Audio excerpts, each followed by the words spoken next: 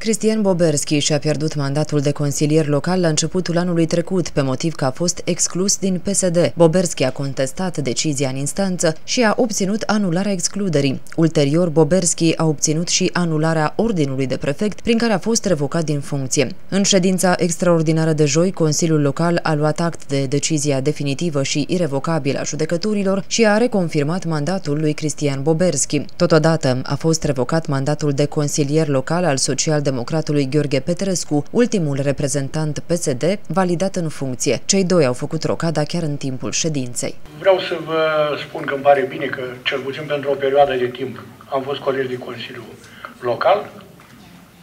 Cine știe în timp cum va, vor evolua lucrurile și ce se va mai întâmpla. Faceți schimb și la fel.